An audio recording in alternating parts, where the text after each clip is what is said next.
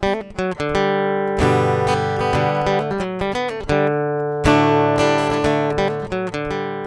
this is John from Flat Cat Gear. And today I'm uh, talking a little bit about the uh, multi-fuel stove.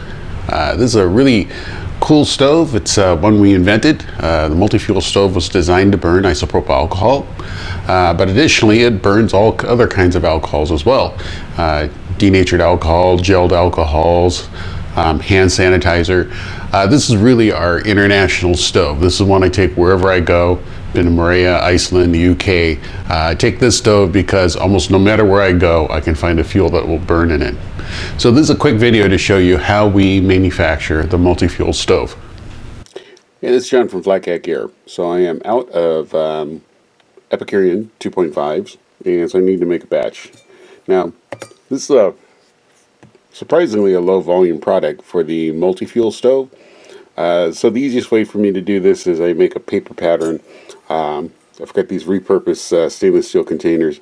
Uh, these are tricky to find uh, because you got to get the right thickness, right diameter, and right thermal properties. So that's half the battle. Uh, since it's low volume, I don't have any special tooling for this. So what I typically do is make a paper pattern, uh, wrap it around it, and most of it is hand labor and punching. So let's get to it. So the pot supports on the multi-fuel. There are three pot supports and I scallop uh, in between there so I know I get good support only at three points. And again, it's just a simple hand trim.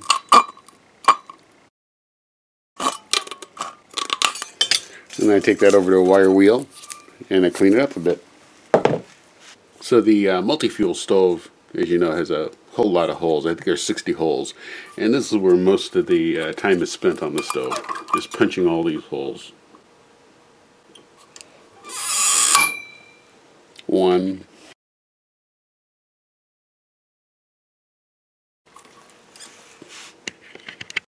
So these uh, inlet air ports, there are 48 of them. And now I got to put in the last, the uh, inlet ports down the bottom. There are 12 of those.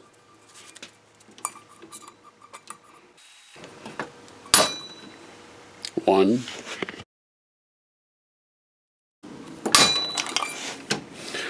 Sixty holes. Now I have to do the slotting. Now I have to cut uh, three slots that forms the leg.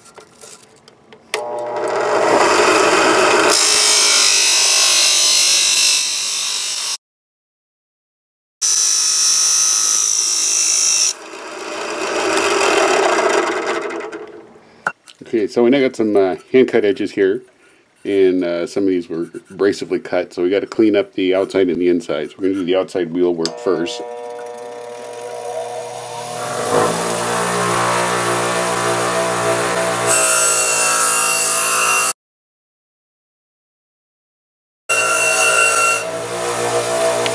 Now that the outside's uh, been cleaned up, now we got to clean up the inside a little bit. Doesn't take much.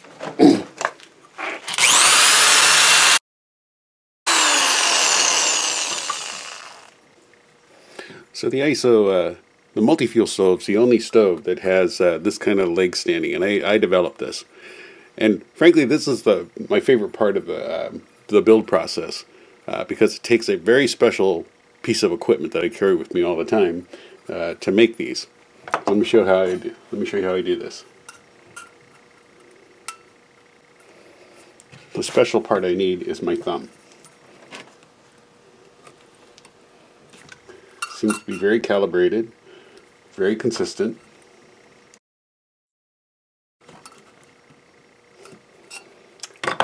And that's how we get that shape.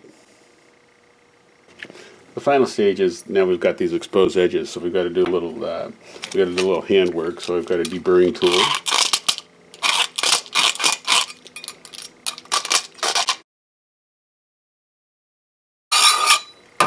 We're almost done. Again, the last piece of work we need to do is just clean up all the edges.